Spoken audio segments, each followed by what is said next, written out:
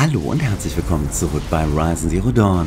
Wir sind hier beim letzten Mal in der Winterschmiede bzw. dem Aufbereitungsbereich der Brutstätte Epsilon stehen geblieben. In der letzten Folge war es uns gelungen, den Produktionsbereich zu durchqueren und nun sollen wir Aratak und Orea hier durch diesen Bereich helfen. Dann sollten wir uns erstmal orientieren. Das hatten wir ja noch nicht gemacht am Ende der letzten Folge. Da drüben haben wir einen Netzwerkablink, da müssen wir wohl hin. 17 Meter, das ist nicht allzu weit. Da ist eine Vorratskiste. Und da unten, da schleicht ein dämonischer Wächter rum. Bitte, hilf uns auf die andere Seite.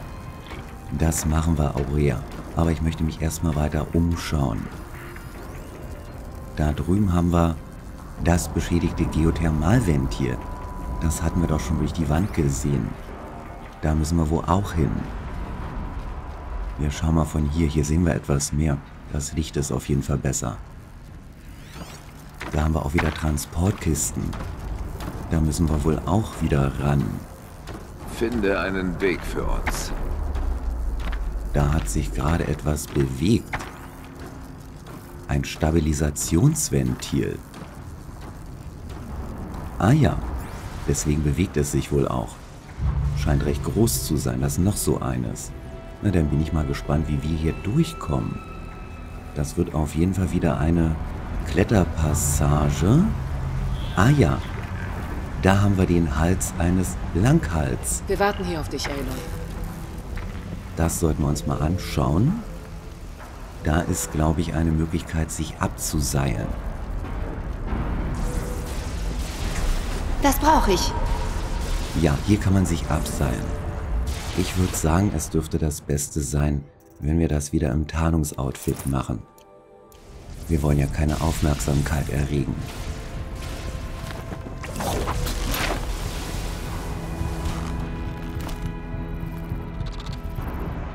Wir haben direkt den Wächter neben uns.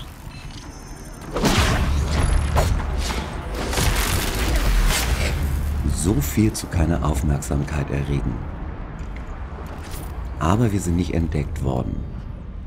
Gut, dann suchen wir uns hier mal einen Weg. Das sieht hier auf jeden Fall ziemlich wüst aus. Nun gut, wir sind wohl nicht nur in der Aufbereitungsanlage, sondern wohl auch in einer Art Eisenschmelze oder einer Schmiede, so könnte man das hier wohl auch bezeichnen. Da haben wir doch eine Klettermarkierung. Ob ich das wohl zerstören kann? Natürlich, Eldor, das wissen wir. Wir haben wieder eine Kabelüberwucherung hier.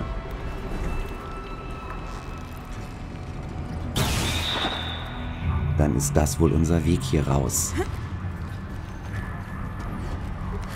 Dann kommen wir wohl direkt an den Ablink jetzt. Oder auch nicht. Ich glaube, wir müssen da oben hin. Ja, eindeutig scheint nicht ganz so einfach zu sein. Ah ja, wir müssen wohl dahin. Oder erstmal an die Vorratskiste. Schauen wir mal, was wir hier haben. Oh, wir können nicht mal alles mitnehmen. Finde einen Weg für uns. Hier sind auf jeden Fall ziemlich viele Metallscherben drin gewesen. Wir haben jetzt ein bisschen was zurücklassen müssen. Ich würde sagen, wir schauen mal ganz kurz, ob wir nicht ein bisschen Reinholz auspacken können oder vielleicht irgendwas hier verwerten können, irgendwas zerlegen. Ich schaue gerade nach Doppeltem. Wir haben eine Panzerwandererlinse, eine einzelne. Na, die kann doch weg. Und jetzt sollten wir mal beim Reinholz schauen. Da können wir sicherlich was loswerden. Ja, eindeutig. Das sind zu viele Stapel. Da lassen wir mal ein bisschen was fallen hier. Ich würde sagen, es genügt, wenn wir vier Stapel aufheben, dann haben wir wieder vier Plätze frei. Und dieser angefangene Drahtstapel hier, der muss ja auch nicht unbedingt sein, obwohl das wird uns nicht viel bringen. Den werden wir einfach nur zerlegen. So, das sollte genügen, denke ich. Obwohl, wir haben auch ziemlich viele Zünder. So, jetzt haben wir wieder ein bisschen Platz, allerdings nicht wirklich viel. Oh, das sieht ja auch interessant aus. Eine hübsche Beutesammlung. Haben wir, glaube ich, in der Form auch noch nicht gesehen. War bisher nicht nötig. Und ich wollte jetzt nicht das Reinholz wieder einsammeln eigentlich. Eher das hier. Na gut, haben wir wieder ein bisschen Reinholz aufgesammelt. Wir warten hier auf dich, Aloy. Aratak und Dorea drängen uns ja überhaupt nicht. Nun gut, wir suchen uns mal einen Weg hier durch. Wir müssen wohl hier rauf. Und darüber. Na bloß gut, dass Aloy so weit springen kann. Ich hatte gerade ein wenig Bedenken. Und da geht's wohl weiter. Oh, das könnte... Ah ja. Ja, das könnte wohl etwas länger dauern. Nun gut, wir schauen mal, wo uns das hinführt. Da unten scheint jedenfalls nichts zu sein. Da müssen wir wohl nicht hin.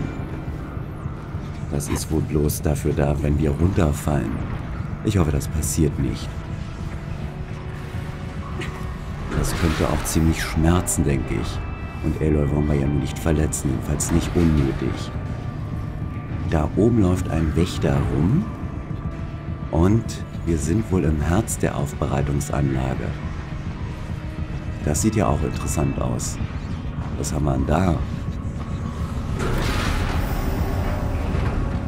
Alles klar, das ist die Anlieferung. Das ist aber sehr intelligent von den Maschinen, muss man ja mal sagen.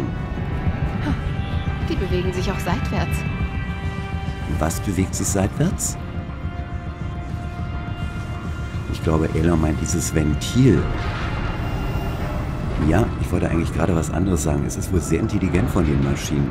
Sie nutzen hier den Vulkan zum Einschmelzen des Metalls. Wir schauen mal ganz kurz, ob es hier hinten etwas gibt. Nein, nur ein Strom von Lava. Gut, dann müssen wir wohl darüber. Und wir müssen wohl warten, bis die Säule da ausfährt.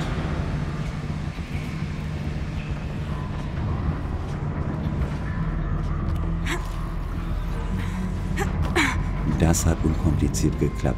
Aber hier war doch gerade irgendwo ein Wächter. Da oben. Den sollten wir mal versuchen auszuknipsen, glaube ich. Ich hoffe, wir werden nicht bemerkt. Ich glaube aber, das hier ist die ungefährlichere Variante, wenn wir das von hier unten machen. Jetzt läuft er nur leider weg. Wir brauchen eine höhere Position. Da haben wir eine höhere Position. Irgendwie erinnert dieses Ventil an ein Rückgrat. Und wir haben hier Nebel. Die werden wohl nicht entdeckt.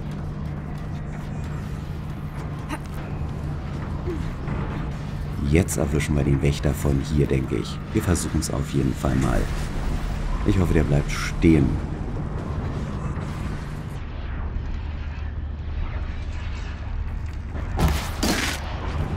Ja, er ist stehen geblieben, aber er ist nicht zerstört. Aber er hat eine lange Leitung. Das wäre auch schon erledigt. Da hinten läuft noch ein Wächter rum. Wir sollten das nicht auf die Entfernung, glaube ich, probieren. Wir sollten uns hier erstmal einen Weg suchen. Wir sind wieder weiter weg von unserem Ziel. Ah ja, wir stehen direkt vor dem Feldgenerator. Ein fortschrittlicher Projektor unbekannter Machart, vermutlich für die Erzeugung eines Energieschilds, könnte für militärische Überbrückung anfällig sein. Na dann, benutzen wir mal unsere militärische Überbrückung.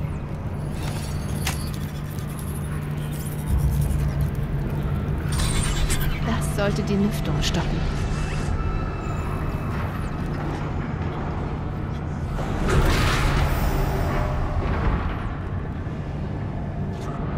Ich weiß nicht, ob das gut ist, dass wir jetzt die Lüftung gestoppt haben.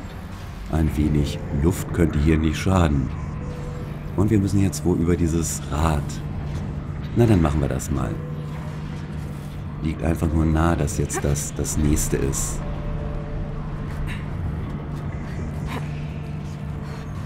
Und die Kamerafahrt hier war ja eben sehr schön. Das heißt wohl, wir müssen da unten lang. Waren wir hier nicht gerade? Ja. Nun gut. Da hinten ist wieder eine Überwucherung. Wir müssen wohl da hin. Die sehen nicht stabil aus. Was sieht nicht stabil aus? Ich hoffe, Elo meint nicht den Boden. Das ist etwas beängstigend. So dicht an Lava rumzuspringen ist, glaube ich, keine gute Idee. Ich staune nur, dass Aloy sich nicht über die Hitze beschwert. Und wir haben hier etwas Besonderes. Eine 40-prozentige Schadensspule. Gar nicht verkehrt. Wir sollten uns mal darum kümmern. Und dann geht's wohl für uns da weiter. Wir müssen wohl an dieses Ventil ran. Das ist sehr interessant hier. Sowas hatten wir auch noch in keiner Brutstätte. Die hier ist definitiv etwas Besonderes.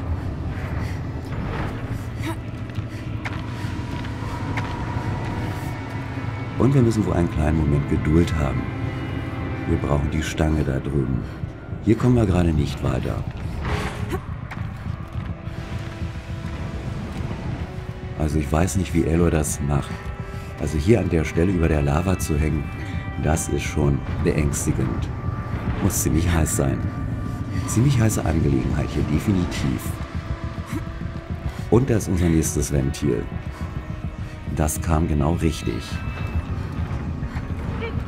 Ich nehme mal an, diese Ventile hätten sich nicht bewegt, wenn wir nicht die Lüftung deaktiviert hätten. Und wir müssen wohl daran. Wir warten mal einen kurzen Moment. Ich möchte da nicht runterstürzen.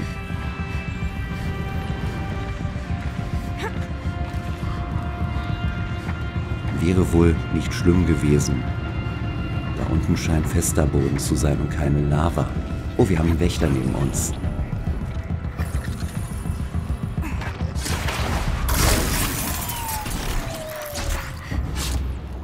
Den Wächter wollte ich doch eigentlich auf Entfernung ausschalten. Aber nun gut. Wir haben das Tarnungsoutfit an, das hat wieder geholfen. Ja, da unten hätten wir uns wohl nicht verbrannt. Naja, wer weiß. Da ist auf jeden Fall eine Kante. Und darunter geht's in die Lava. Gut, dass wir da nicht gelandet sind. Und für uns geht's hier weiter. Und da liegt der zerstörte Wächter der andere. Elo hat den Stab rausgenommen, beziehungsweise den Speer. Wir schauen mal ganz kurz, ob hier noch irgendwo eine Maschine ist. Hier bewegt sich irgendwas. Da oben ist noch ein Wächter. Habe ich das doch richtig gehört?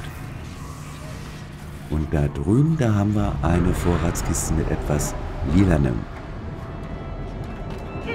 Und wir haben das nächste Ventil gefunden. Sah jetzt nach dem einzigen Weg hier aus. Und da haben wir den Wächter.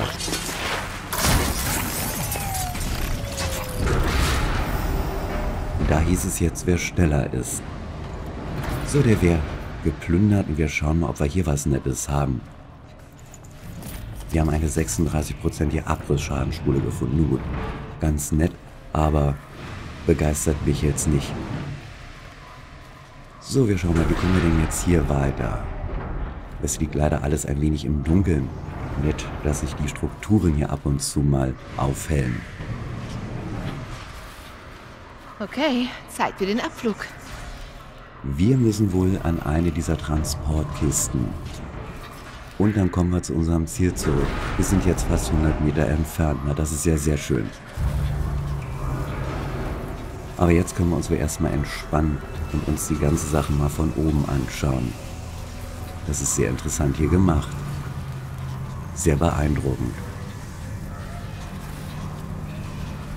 Ich glaube nicht, dass wir uns hier fallen lassen müssen.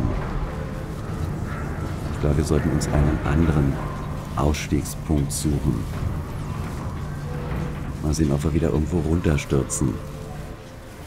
Das sieht nach der Landeplattform hier aus. Wir warten mal noch einen kleinen Moment. Das hier sieht nicht zu hoch aus. Ich glaube, wir haben es geschafft. Und uns erwartet wohl eine kleine Belohnung hier unten. In Form einer weiteren Vorratskiste. Wir haben wieder Reinholz eingesammelt. Nun gut. Und da drüben stehen Aratak und Urea. Und da unten ist der Netzwerkablink. Wir können wohl einfach da runter. Ja, wir haben es geschafft. Das war ein ziemlicher Umweg, aber ein interessanter.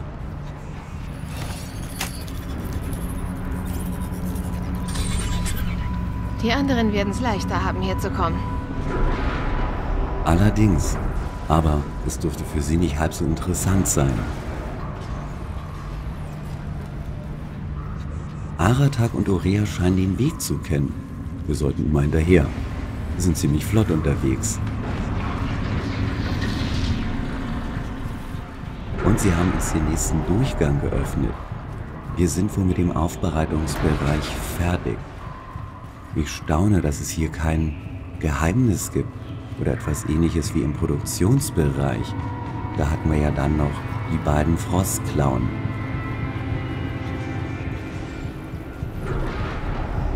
Ich glaube, hier sind wir gerade gelandet. Das war, glaube ich, unsere Landeposition hier eben. Gut, dann sind wir wohl hier wirklich fertig mit dem Aufbereitungsbereich. Der war ja relativ einfach. Vier Wächter, glaube ich, wenn ich jetzt richtig gezählt habe, bloß. Und die Kletterpassagen. Gut, dann schauen wir mal, ob wir jetzt gleich wieder mit Cyan sprechen dürfen. Wir haben auf jeden Fall eine Vorratskiste hier. Und wir kriegen vielleicht gleich wieder was von Kenny Chao zu hören. Sieht wie der alte Pfad aus. Wir sind nah dran. Also wir sind auf jeden Fall auf dem richtigen Weg. Wir schauen als erstes mal auf die Karte, wie weit es noch ist. Wir sollen jetzt dahin. Und wo ist der Brutstättenkern? Unweit entfernt davon. Also wir sollten es bald geschafft haben. Eines können wir auf jeden Fall festhalten. Die Brutstätte Epsilon dürfte wohl die größte der Brutstätten sein. So, wir müssen wieder was liegen lassen. Einmal Lohe. Na, dann sollten wir uns vielleicht was herstellen. Brauchen wir etwas? Es sieht nicht so aus. Wir gucken dennoch mal ganz kurz in die Herstellung. Vielleicht können wir ja irgendwas bei der Munition dennoch machen. Vielleicht etwas für das Schmiedefeuer. Da können wir vielleicht noch was gebrauchen. Ja, na dann machen wir das doch. Ich würde sagen, das ist jetzt erstmal das Beste. Dafür brauchen wir nämlich Lohe, dann können wir die hier noch einsammeln. Machen wir uns da mal weitestgehend voll. Sehr schön. Ich bin ja gegen Ressourcenverschwendung. Wir können uns auch Sturmbolzen herstellen. Und was können wir noch machen? Etwas für den Eisstorn. Na, dann machen wir das doch hier auch. Uns hetzt ja keiner. Und wir lassen keine Ressourcen liegen. Können wir hier noch irgendwo was machen? Wir schauen mal ganz kurz durch, ob sich hier irgendwas noch findet. Ja, Zersprengerladung können wir uns machen. Vielleicht hätten wir das schon eher machen sollen. Aber es ist nie zu spät, sowas zu machen. Wir können hier unterschiedliche Fesselseile herstellen. Wir stellen uns mal die schweren her. Ich glaube, die brauchen wir wieder. Ich glaube, die können wir beim nächsten Donnerkiefer gut gebrauchen. Ich glaube, wir sind erstmal durch. Eispfeile müssen wir uns jetzt nicht unbedingt herstellen. Und bei den normalen Pfeilen sind wir nicht voll. Dann machen wir uns nochmal gehärtete Pfeile. So, dann können wir die Lohe noch mitnehmen. Und wir gucken mal, ob wir wieder was von Kenny Chao zu hören bekommen. Wir haben hier ein Sprachprotokoll. Letztes. Lebewohl. Ein letztes Gespräch mit Anita per Chat. Als Anhang hierzu, falls jemand das hier je findet. Ich werde sie nie wiedersehen. Und Cyan auch nicht. Und das muss ich hier auch sagen. Ich glaube, das ist das Letzte, was wir jemals von Kenny Chao zu hören bekommen. Er hatte gesagt, es gibt noch einen Anhang. Wir sollten uns den vielleicht mal raussuchen. Es gibt ja bei den Audiodatenpunkten auch noch teilweise Textanhänge. Mal schauen, ob wir den finden können. Das könnte in diesem Fall sehr interessant sein. Also dann verabschieden wir uns jetzt wohl von Kenny Chao. Da haben wir auch das letzte Lebewohl. Wir schauen mal, ob es dazu noch mehr gibt. Ja, da ist ein persönliches Protokoll angehängt. Nachdem ich die Teile über den Schwarm zusammengesetzt hatte, hätte ich eine Million Dinge tun können, über meinen eigenen Tod nachdenken, jeden, den ich je gekannt und geliebt habe, anrufen, mich besaufen, aber ich wäre nicht ich, wenn ich mir nicht das Hirn zermartert hätte, ob ich Anita schreiben sollte oder nicht. welcher Widerstand auch immer gegen die Kriegsmaschinen aufgebracht wird, sie ist ein Teil davon.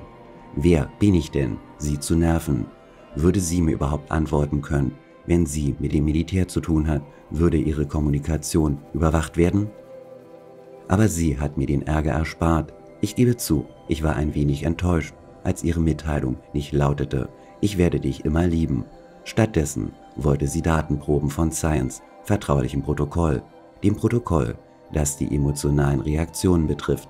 Unter anderen Umständen hätte ich mich geweigert, gerade das, was wir jahrelang geheim halten wollten, und sie will es teilen. Aber ich habe ihr das Protokoll geschickt, weil sie nicht fragen würde, wenn sie es nicht bräuchte. Ich verstehe allerdings nicht, wieso. Klingt, als würde sie helfen, eine KI zu entwickeln. Aber wie könnte das helfen, den Schwarm aufzuhalten? Ich schätze, ich werde es nie erfahren. Es gab noch so vieles, das ich ihr sagen wollte, aber nichts davon schien mir angebracht. Schätze, sie hatte alle Hände voll damit zu tun, die Welt zu retten, und offen gesagt, ich kann mich an das Gefühl erinnern. Am Ende entschied ich mich für eine halbherzige Bestätigung mit der unwahrscheinlichen Hoffnung, dass sie meine Ängste verscheuen würde. Aber nein. Kenny, ist es so schlimm, wie ich glaube? Anita, schlimmer. Geh zu deiner Schwester und sage Cyan, dass ich Lebewohl gesagt habe. Das war's dann also. Jetzt kommt nur noch Vernichtung. Milliarden von Leben, mein eigenes, die meiner Familie. Und doch kehrt mein Verstand immer wieder zurück zu Anita. Ich werde sie nie wiedersehen, sie nie wieder spüren, nie wieder ihre Stimme hören. Keine letzte Umarmung, kein Abschluss. Dieser Wunsch, Dinge zu Ende zu bringen, dieses Bedürfnis beschämt mich, wenn ich über mein Herumgeeiere mit Zion nachdenke. Ich bin jedes mögliche Szenario durchgegangen, jede mögliche Version meiner Worte und habe versucht vorauszusehen, wie sie reagieren würde, wenn ich ihr sagte, tja, was ich ihr sagen musste. Aber das ist es ja. Ich kann ihre Reaktion aus einem ganz einfachen Grund nicht vorhersagen. Sie ist menschlich, auf jede nur erdenkliche Weise. Ich muss für sie da sein, ihr die Zeit geben, die sie braucht, genau wie bei dem Rest von uns. Das ist das Mindeste, das sie verdient. Das war sehr betrüblich, muss ich sagen. Also Kenny Chow war sich des Endes bewusst und auch des Endes der gesamten Menschheit, denn wir haben ja erfahren, dass der Schwarm auf dem Weg hierher nach Yellowstone unterwegs war. Und Anita hat wohl mit dem Militär zusammengearbeitet. Sehr interessant.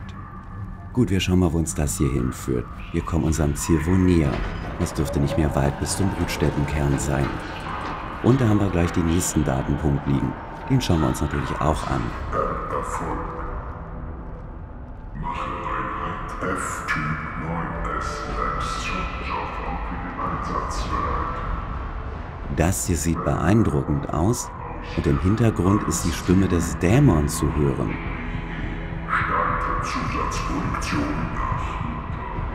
Also das hier ist faszinierend. Gut, wir schauen uns aber erstmal hier das Datenpad an. Wir haben hier eine Textnachricht. Begegnung mit der Vergangenheit. Begegnung mit der Vergangenheit. Frozen Wilds. Textdatenpunkte Quests. An Joshua Aduis. Von Isla Perry.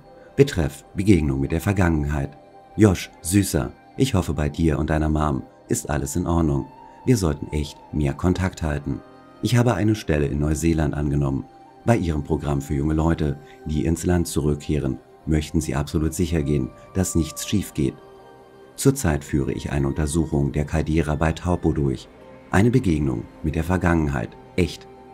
Jedenfalls, ich weiß nicht, ob es in Wyoming schon im Nachrichtenholo kam. Erinnerst du dich an diesen Typen, Dot Blevins? Natürlich tust du das. Naja, sie haben endlich rausgefunden, was aus ihm geworden ist. Den interessanten Teil habe ich unten angehängt. Sei mir gedrückt, Isla. Tauwetter gibt Leiche von vermissten Mann frei. Der Rückzug des Winters hat einen vermissten Fall, der seit annähernd 15 Jahren ungeklärt war, zum Abschluss gebracht. Bei Purple Mountain, auf dem Gebiet des ehemaligen Yellowstone Nationalparks, wurden menschliche Überreste entdeckt, die als die des 2046 verschwundenen Dodger Dot Blevins identifiziert wurden. Der bisher unentdeckte Leichnam wurde am Purple Mountain nach einem ungewöhnlich warmen Winter vom Schmelzwasser freigespült. Er wurde von Faro-Servitoren entdeckt, die das Terrain untersuchten.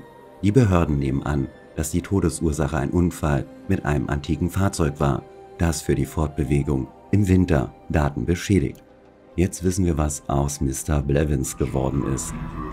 Ihn hat's irgendwie erwischt. Vielleicht war das dieses Fahrzeug, das wir auf dem Graufangstaudamm entdeckt hatten, oben auf der Staumauer. Wer weiß. Es hat 15 Jahre gedauert. Ich glaube, Levins war nicht sonderlich beliebt. Auch kein Wunder nach dem, was wir von ihm gehört hatten. Niemand hat wohl nach ihm wirklich aktiv gesucht. So, dann schauen wir mal, wie wir jetzt hier weiterkommen. Nein, wir schauen uns das hier erstmal an. Das sieht wirklich beeindruckend aus. Da oben die dämonische Verderbnis, die Überwucherung und da unten die heiße Lava.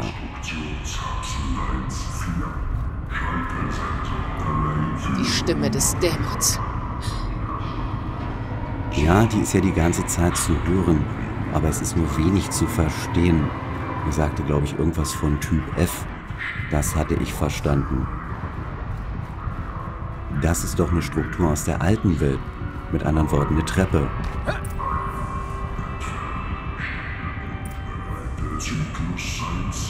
Und wir sollen jetzt den Quellknoten aktivieren. Dann suchen wir diesen Quellknoten erstmal. Der Altar. Entweiht. Das ist der Quellknoten von Zion. Wir haben das Herz von Zion entdeckt. Das sah ja gerade fantastisch aus hier mit Urea. Hier gibt es kein blaues Licht.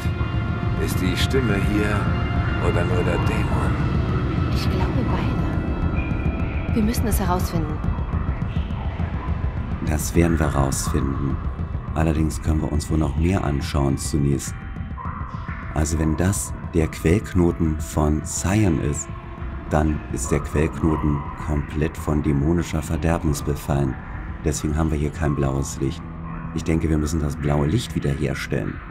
Wir fangen mal mit den Vorratskisten erstmal an. Und dann nehmen wir uns das Datenpad vor. Und dann schauen wir uns den Quellknoten an. Wir stecken uns einfach mal alles ein. Alles, was geht. Einen Genesungstrank mussten wir zurücklassen. Das ist nicht verkehrt. Das heißt, wir haben genug Heiltränke in der Tasche. Das kann man auch positiv sehen. Mal schauen, ob es hier noch irgendwas Interessantes für uns gibt. Wir kriegen auf jeden Fall genug Materialien für die Munitionsherstellung. Wir haben ja auch gerade viele verbraucht von diesen Materialien. Ich denke, wir haben jetzt nur Tränke zurückgelassen. Dann schauen wir uns jetzt mal dieses Datenpad hier an. Wir haben wieder ein Textprotokoll hier liegen. Cyan Zugriff. Cyan Zugriff. Frozen Wilds. Textdatenpunkte Quests. Als amtierender Leiter der digitalen Sicherheit und vorübergehender KI-Administrator für das Firebreak-Projekt erkläre ich hiermit, dass ich das Orbikularmuster für die regulierende KI Cyan am 17. September 2064 gemäß dem Protokoll aktualisiert habe, um sie gegen jegliche Manipulation, Einmischung, Verwirrung oder Mutwilligkeit von außen zu schützen. Wie bei den vorherigen Updates. Nach der Aktivierung des Quellknotens müssen die übrigen Datenknoten verbunden werden, um einen Fluss zwischen intakten, benachbarten Knoten zu ermöglichen und diesen dann wieder mit dem Quellknoten zu verbinden. Jürgen Holm. Ach, Jürgen Holm war auch KI-Administrator. Von ihm hatten wir ja schon auf dem Weg hierher was gelesen. Bei diesem Kantinenunfall. So, dann wenden wir uns mal jetzt dem Quellknoten zu. Oder Cyan.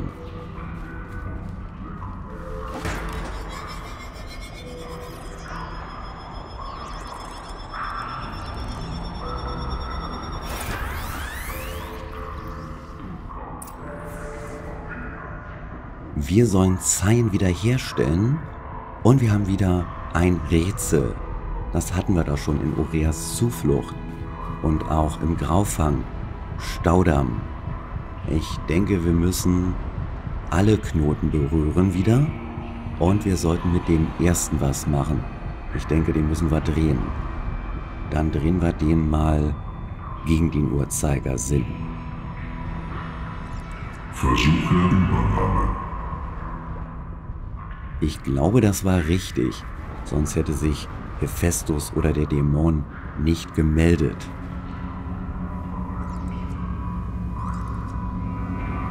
Wir schauen mal, ob das richtig ist. Naja, das können wir wohl bloß ausprobieren. Das sieht ganz gut aus. Wir leiten erstmal den Strom hier außen lang. Mögliches Sicherheitsrisiko erkannt. Ich glaube, wir machen was richtig. Sonst hätte er sich nicht erneut gemeldet. So, und den Knoten drehen wir mal im Uhrzeigersinn. Sicherheitsrisiko bestätigt. Wir kommen der Sache wohl näher. Wir haben auch bloß noch drei Knoten übrig. Dann muss der hier auch im Uhrzeigersinn gedreht werden. Dreimal. Starte Gegenmaßnahmen. Gegenmaßnahmen? Zum Glück nicht. Und wir sind ganz dicht am Brutstättenkern, würde ich behaupten. Nun gut, wir bleiben mal beim Rätsel. Ich habe jetzt keine Maschinen gesehen, danach wollte ich mich nämlich eigentlich umschauen. Das ist wohl der letzte Knoten. Und das sieht richtig aus.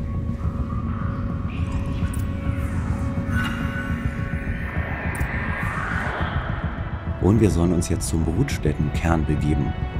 Ich hätte jetzt eigentlich gedacht, wir reden vielleicht mit Zion. Dann tun wir das wohl nicht. Schade. Es funktioniert. Partielle Wiederherstellung initiiert. Analytischer Nexus der Yellowstone Caldera online. Stimme des blauen Lichts. Hier ist Urea. Deine Dienerin. Deine Freundin. Sag mir bitte, wie ich dir helfen kann. Urea, der Dämon baut Jägerkiller. Tausende von ihnen. Viele neue Eliteeinheiten wurden bereits entfesselt. Um die Bedrohung zu kontern, muss der Großteil der Einrichtung zerstört werden. Rückeroberung steht bevor. Geht in den Kernraum. Ich versuche, die Beschränkungen aufzunehmen. Keine Liegen aber ich schon... Geplante Aufgabe fortsetzen.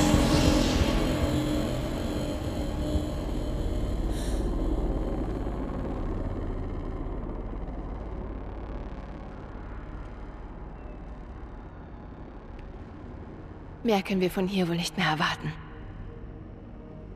Diese Festung zerstören? Ist das überhaupt möglich? Und was würde mit der Stimme passieren, wenn ja? Ich weiß nicht. Aber das ist wohl der Kern.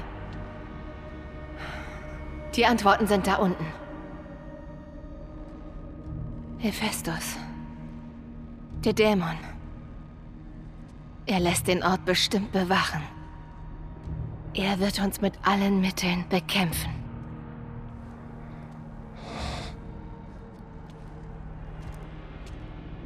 Ich bitte dich. Überlass Eli und mir die Aufgabe. Und rette dich. Aber ich kenne deine Antwort.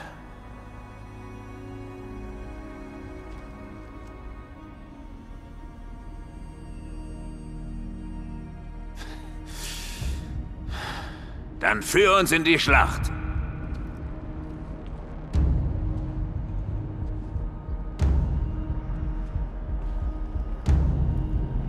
Das machen wir. Allerdings wohl erst in der nächsten Folge. Wir sollen uns jetzt zum Brutstättenkern begeben. Irgendwas erwartet uns da unter der Kuppel. Und wir hatten doch noch die Gelegenheit, mit Siam kurz zu reden. Oder sie hat zu uns gesprochen, muss man wohl eher sagen. Für heute soll es das erst einmal gewesen sein. Wir haben uns durch den Aufbereitungsbereich geschlagen. Wir haben Cyan reaktivieren können, wenn auch nur für einen kurzen Moment. Und ich hoffe, dass euch die Folge gefallen hat und ihr auch beim nächsten Mal wieder mit dabei seid. wenn es hier dann mit Horizon Zero Dawn und Frozen Wilds weitergeht. Bis dahin, macht's fein, ciao ciao und bis bald.